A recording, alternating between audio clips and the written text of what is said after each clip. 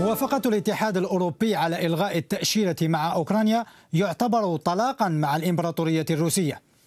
هكذا صرح الرئيس الأوكراني بيترو بوروشينكو في لقاء على قناة أدين بلوس أدين. وأشار بوروشينكو أن هذا الأمر لا يقتصر فقط على عبور الحدود بدون تأشيرة بل أيضا عن عودة أوكرانيا إلى مكانها التاريخي كجزء من الدول الأوروبية.